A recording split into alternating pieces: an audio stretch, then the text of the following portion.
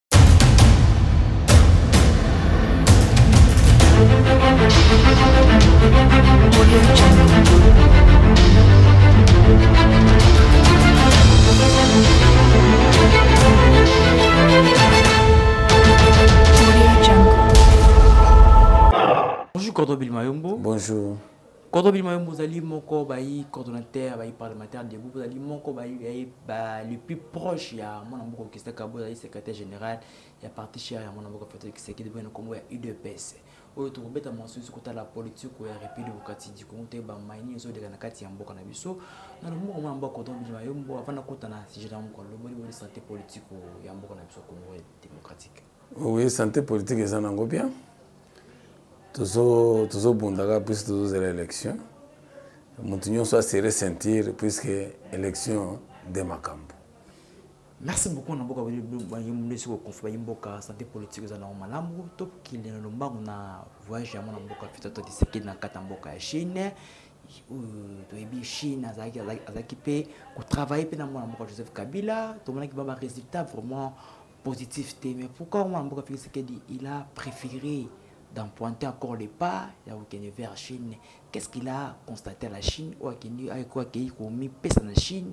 mobimba bongo mwana mboka koto bima yombo omoni chine ezali mboka moko epresente développement na bango na lombango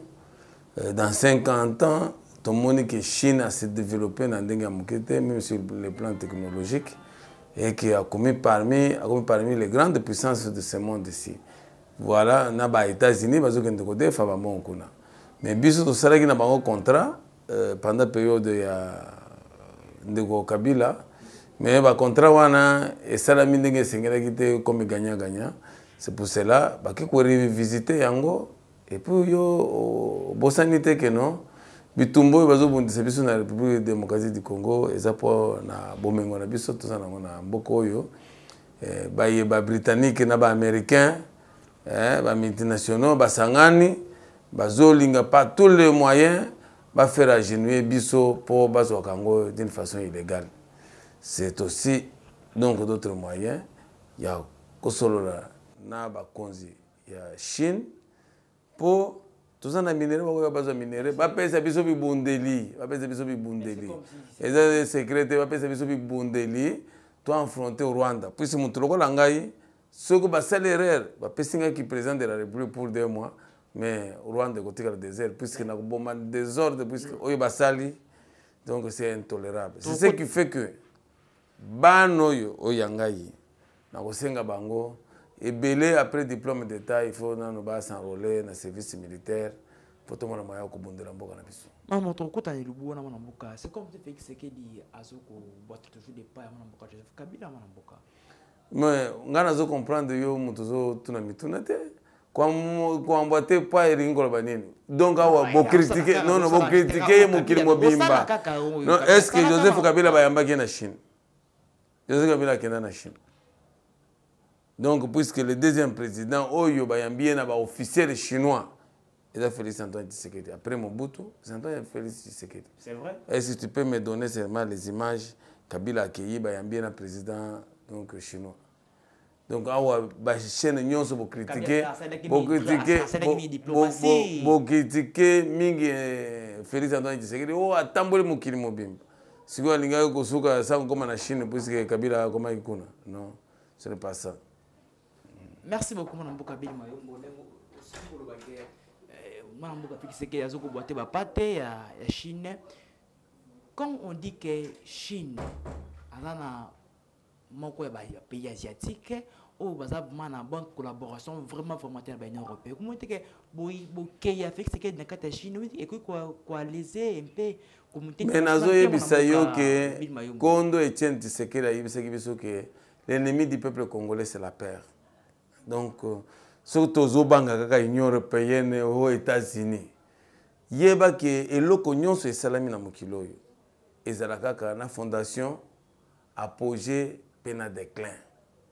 elingi koloba te ke bango wana ntango tobanda mokili oyo bango nde bazalaka bagrande puissance non c'était l'égypte eh, l'armée la plus forte du monde ezalaki ethiopie lelo oyo tomoni angleterre akonzaki états-unis eh, lelo oyo tomoni koloba états-unis grande puissance ainsi de suite eyo kokweya mpe puissance mpe esukaka bazwi mpe déclin mosusu mpe abimi akomi grande puissance donc c'est-à-dire le panier donc circule encore que... comme la terre tourne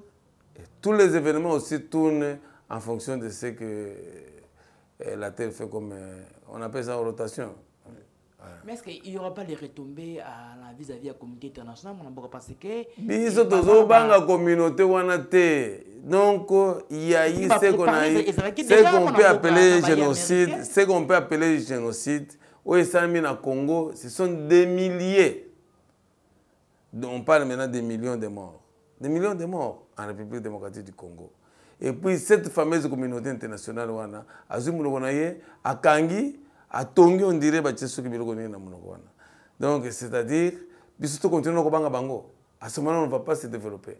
Donc il faut, il faut leur faire un défi. Oyo alingi komarche na biso amarche na biso ayebisi biso ke congo eza un un indivisible donc to marche soki olobi ke olingi kaka ozwa ata mwa moke ekotosa te omoni oyo ezosalama bato bazokufa na este wana eloko rwanda azosala je vous assure ça sera un conflit éternel eh, puisque bana na biso tokoyebisa bango nini donc il faut kokeba na, na, na, na barwandais il faut kokeba na rwanda il faut kokeba na rwanda à ce moment là kuna toyebi te mikolo ekoya il faut totyaka mire ya molai donc comme euh, frontière mire ya molai de façon ke bato baza kuna bayaka kotoyo te biso mpe tokendaka epai na bango te à ce moment là on mettra fin à ce genre euh, euh, de, de polemique ba vivre na marque na bango biso mpe to vivre na marque na biso euh, ça ne sera pas la fin du monde wana bakordo bile avant na bloke de suku tala bobema chef de l'état na kati ya chine tolandaki baprésident oyo azalaki liboso yango na mboka feto tisekedi ntango bapesaka mokongo na bayi comité international bayi européenne esi amérique suite na bango ezalaka mabe mwana mboka estce bobangi te mpo na mboka mwana mboka mpe tikisekedi mwana mboka parce que l'importance de l'histoire l'importance de l'histoire c'est de connaître le passé et d'améliorer donc euh, le futur Mais awa nga azoloba ke no tobanga bantu wana te soki babandaka koboma koboma koboma eza na mosusu mpe akoya peut-être bakokoka ye te donc comme par exemple félix antoine tshisekedi okay. aye na volonté ni ya baaméricain ni ye ya baeuropéen euh,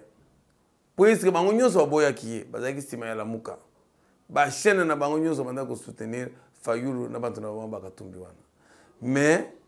bakongole balobi non non non non non totya kaka félix antoine tshisekedi Félix Antoine Mais moi je suis congolais, j'ai voté. moi j'ai voté. Nous avons voté. Si toi tu n'as pas voté, c'est ton problème puisque le mal de de monsieur que nous trouvons à Kinshasa, il pense que dans son quartier si on n'a pas voté Bill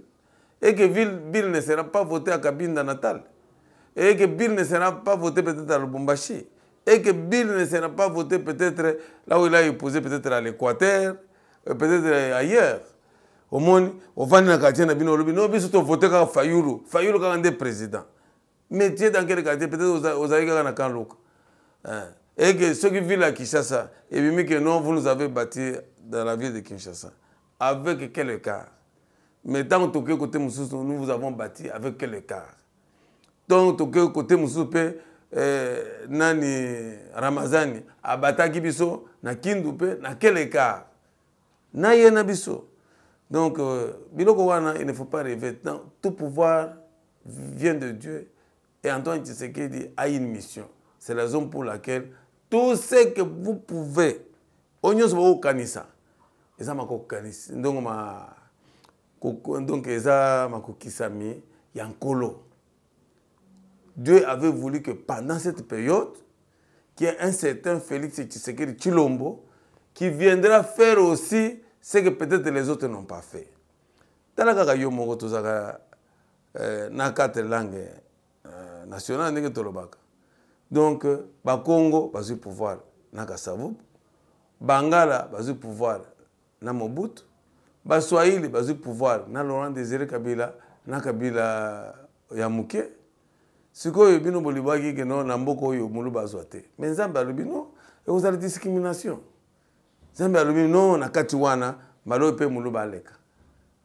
Mais moi je pense ce qu'il est en train de faire ce sont des merveilles. Puisque ba Congolais baza na misu mais bazo mona te. Baza na matoyi mais bazo yoka te. Puisque depuis to banda ba bilan tokoma nano na 10 milliards te. Mais na Félix Tshisekedi nous sommes à 16 milliards. Des budgets. Des budgets.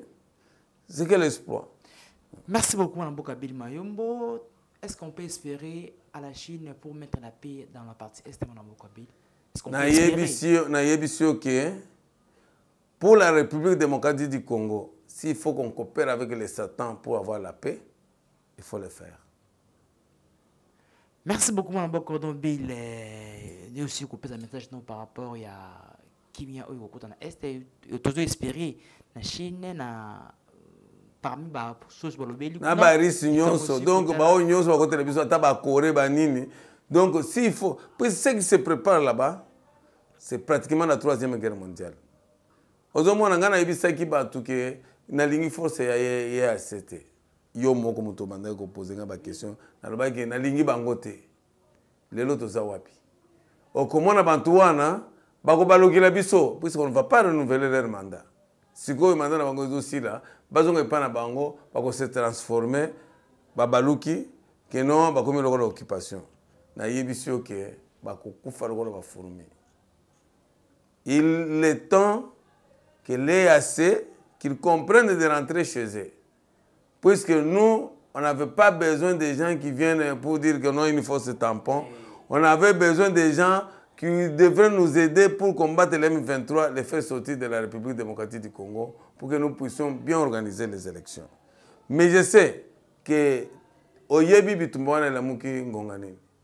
tango kaka to proposer 27 blocs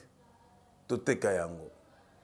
donc bango balingaka biloko wana te balingaka biso to exploite petrole te bango baexploitaka confiance marché oyo biso toza na petrole koleka bamboka nyonso ozomona wana na baarabie saoudite ya kosakana te donc euh, euh, le, le paradis terrestre Donc, il faut être aussi reconnaissant avec les forces. Et assez aidé à Siko Kao, calme pays hémorragie, sinon tu es en 23. te nazoyebisa yo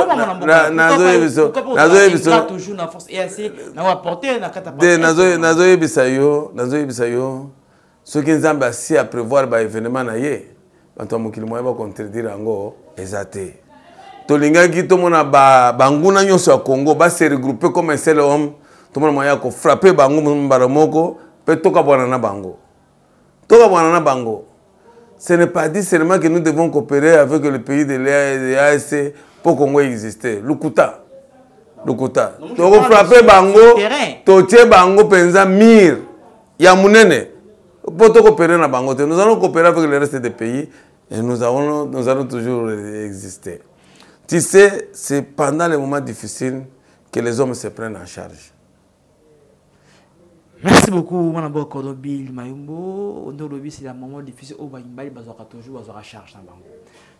To parler sur mke opposition oyo mokoki soki oleka a ah, vide Kinshasa ezalaki na à l'ébullition makasi na baactivité grande en vigueur ya bayi opposition wana mboka pourquoi vous entendez les étouffer les opposants oyo oh, loko obundelaki pendant 37 ans d'élite liberté d'expression Non, non, donc Yogana et Bissayo. Non, non, vous êtes en train de confondre. Non, non, vous êtes en train de confondre les choses. Depuis que le Congo est Congo,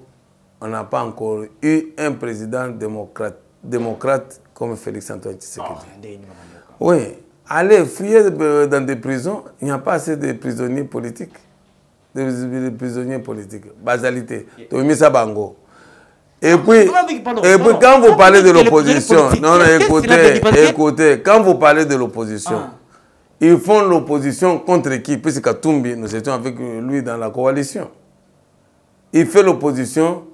Contre quoi Puisque nous, quand nous avons fait l'opposition, on n'a pas fait l'opposition contre un individu. Nous avons fait l'opposition contre un système que nous sommes en train de déboulonner petit à petit. On n'a pas fait l'opposition contre des individus. On n'était pas les opposants de Mobutu, on n'était pas des opposants de Kabila et de l'autre Kabila. Non, comme les autres le prétendent. Nous étions des opposants d'un système. C'est ce qui fait que nous constatons aussi au sein de, au sein de l'Union pour la démocratie et le progrès social, bayanke oyo baye koya mbango mbango oyo bachange bakazaka nokinoki bazolinga kozongisa biso na systeme wana na bapeti oyo baye o oh, biso toye biso toye bazowela banomination mais rendement na bango donc c'est comme si non pas l'adn de l'idps ce sont des gens des opportunistes qui sont venus pour se faire de, de, donc la santé financière c'est ça le problème mais na kati wana ya donc toza na crème moko boye bato oyo baza na adn ya udps qui jure que pas le changement ce qu'on condamnait sommes en train de le combattre euh, des antivaleurs et pour les valeurs c'est pour cela nous avançons omoni par exemple ntango nazosala baanalyse na ngai na bastructure nyonso mwana mboka félix antoine tshisekedi acréé oyo oh, ozobrie na médiocrité c'est la percée l'agence de la prévention et la lutte contre la corruption. Vraiment, Kuna, foufou na foufou. Et ça, de l'autre côté. Les gens qui viennent là-bas, ils sont venus pour les salaires et non pour travailler. C'est pour cela qu'ils n'avancent pas. Alors, si on nous avait laissé, nous, qui avons l'ADN de l'UDPS, qui connaissent le système, comment on détourne, comment on corrompt en République démocratique du Congo, on devrait parler aussi de ça et qu'on devrait déjà relever les défis dans ce pays. Je reviens sur, cette euh, question de l'opposition. Moi, je pense que maintenant, il n'y a pas de l'opposition. Comment ça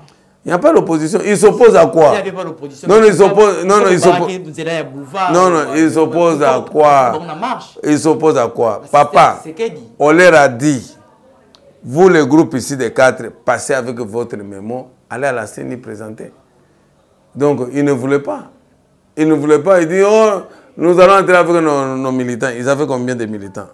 donc ntango tobanda kosala bamanifestation zwaka image wana yo monaki image te zwa image oyo ndambo bazalaki na boulevard wana les journalistes étaient plus nombreux que les manifestants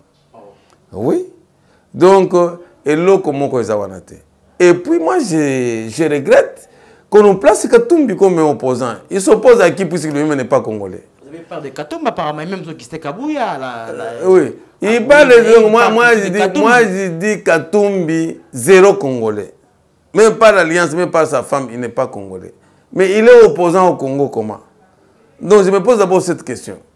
ça c'est vraiment fondamental et puis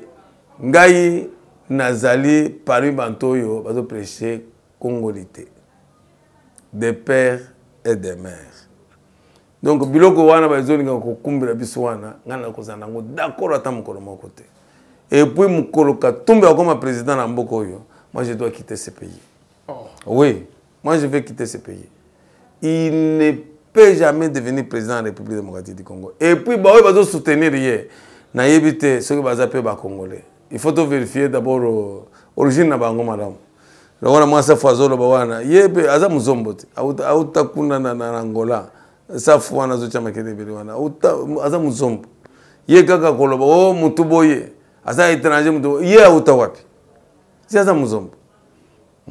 il est venu de l'angola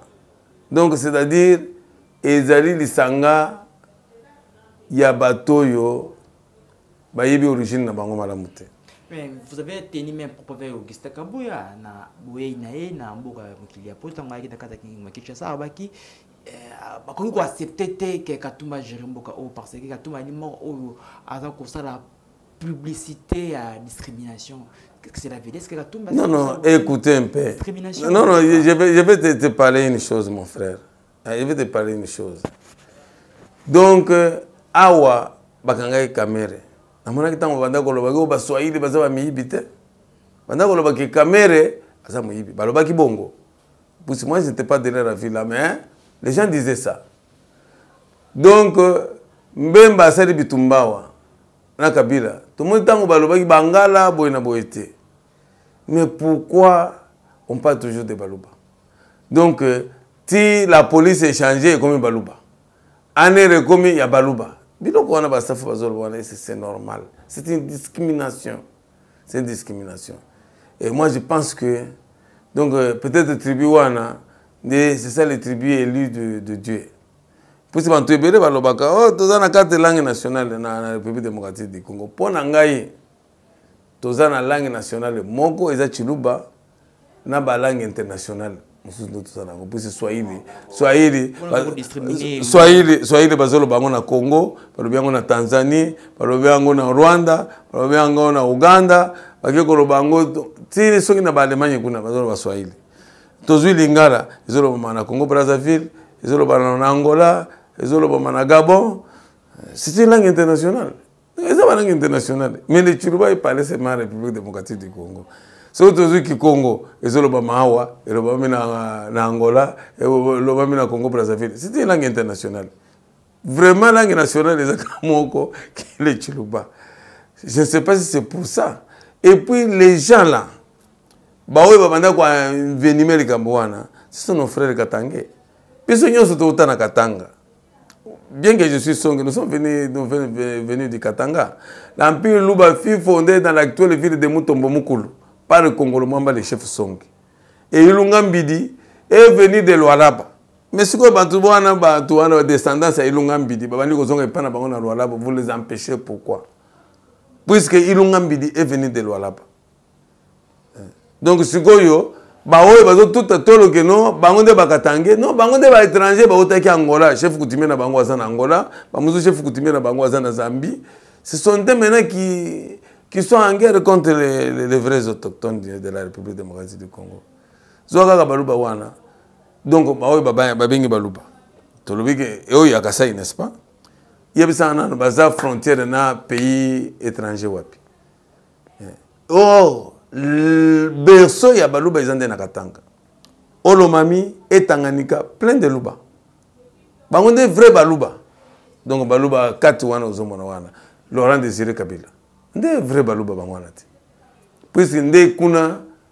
empire luba esefondaki c'était là-bas sikoyo bango wana baza baluba te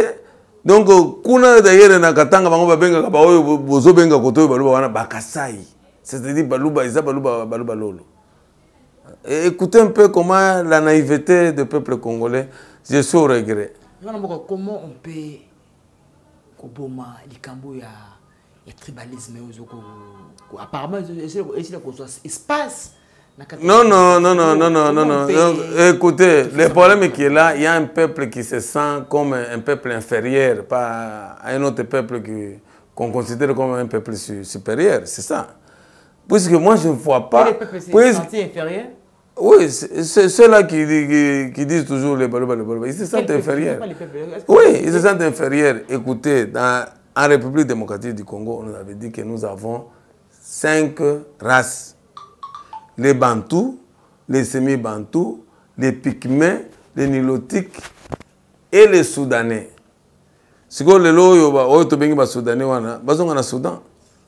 Qui sont les Soudanais en République démocratique du Congo Nous avons les Mbaka, les Ngwandi, les Logo, les Sango en Centrafrique, les Wu, les Andes et consorts. Ils s'appellent généralement les Noko.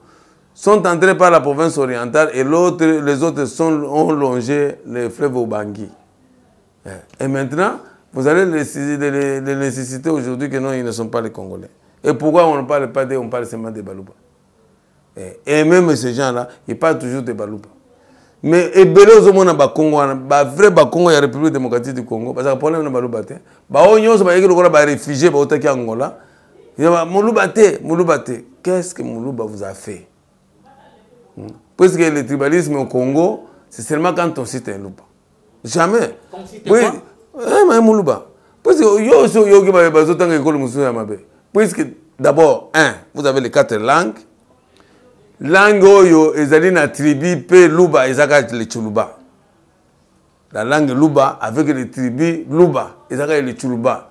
donc euh, tribu swahili baswahili ba ezalaka te bangala ezalaka te les tribus bakongo ezalaka te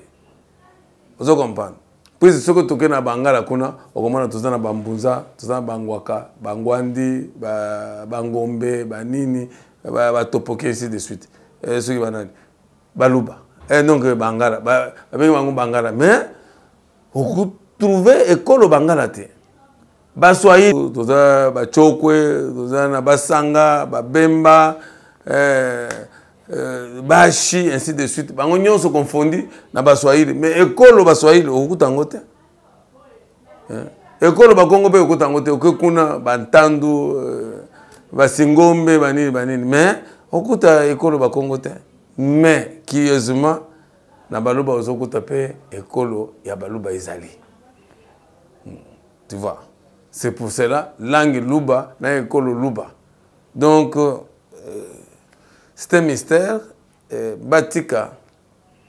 totya mboka oyo na nzela batikela antoine tshisekedi muluba atya mboka oyo na nzela bamosusu baya tochemine vers oyo nous allons chemine Eh, Félix Antoine Tshisekedi, ça sera le premier véritable libérateur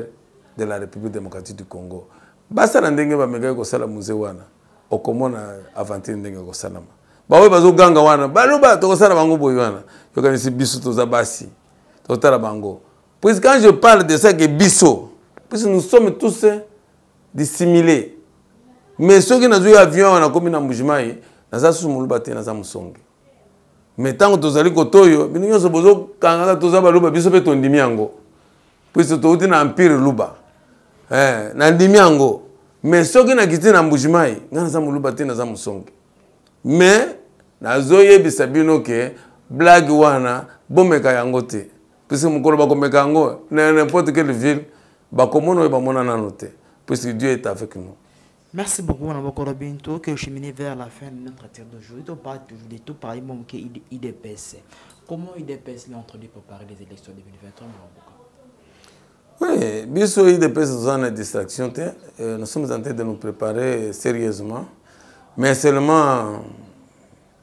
naza na mwa reserve moko nazopesa puisque banto oyo bazali na commission électorale ya idps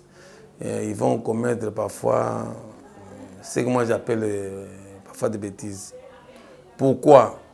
na idps toza na bato oyo bandima appel ya bakonzi moke azwaka acontribuaka na compte ya udps mais bantu mosusu babanda kopesa ata un franc te quand ils ont lancé l'appel à la candidature ils ont donné comme condition il faut à la, à la députation nationale il faut payer 5500 mais tala bantu oyo bakotizaka ndenge bazowela kopesa soki otali te bakokase bantu oyo bakotizaka mposi bapesi 5500 te Non, non, franc congolais. Euh, L'appel à la candidature seulement. Non remboursable. Bah retenir yo, ça va. So bah retenir yo te, non remboursable. Eh, mais, nani wana balinga kolobango ba oyo bazali en ordre de cotisation te. Eh, et que pour accepter la candidature, il faut batala nani quand même asala ta geste de cotisation au sein du parti baprivilégie bango epuis bakozwa bamosusu bazokanisa ke non on va élire puisqu'on va citer l'idps non donc euh, il y a des hommes qui sont écoutés chez eux bazowelaka liste ya idps liste ya idps bantu kuna bavotaka bongo te bakovota bato oyo bamoni que non c'est un leader d'opinion c'est quelqu'un qui s'exprime ainsi de suite nde esika nazobangela bakosala mwa barere mwa ebele place wana eh, eh, namoni ke bantu wana baza plonge mpenza na mwa distraction moko boye en plus cela eh, on m'apprend que non député moko ya idps ya lomami aye na dossier ya, ya gouverneur ya lomami mpo afere adere ye na idps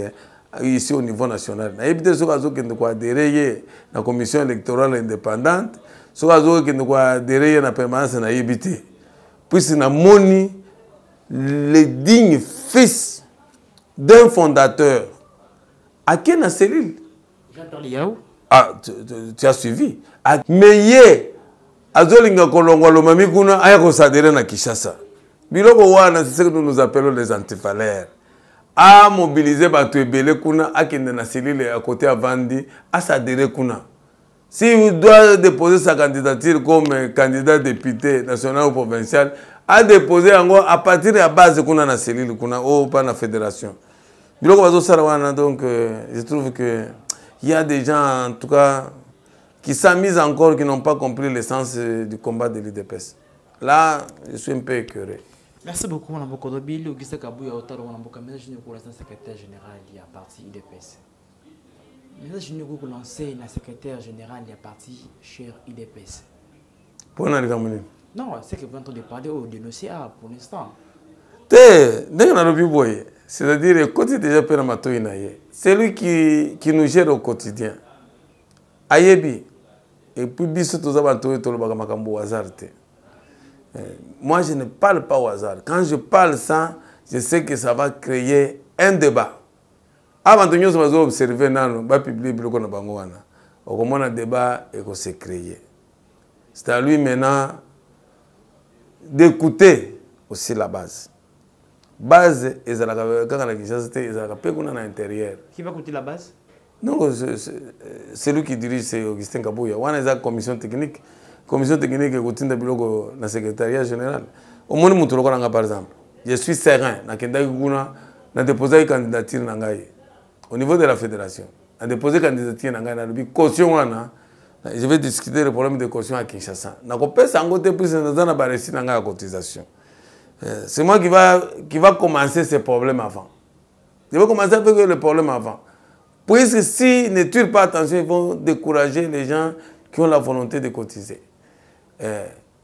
et puis boaligné nga te je vais m'entêter je vais me présenter à ce moment-là si je, eh, je deviens député ils n'auront pas à me dire hein. Eh. puisque biso toza bato oyo base ezoréclame nous on nous réclame moi je ne suis pas allé demander que je puisse être candidat mais c'est la population qui me réclame qui veulent que je puisse être candidat omoni différence eh, namoni tomona bapeti moko oyo bakoti na, bakoti na ligue des jeunes eh, ye moko aza soki na 30 combien d'année azovimba na vimba akokisi nano ata 37 ans autorité te bapesi kaka concertation boye ke non regroupe bantu propose bango poste eza boye abandi na komone yango epo abandi kosakana na bampaka lokola babiso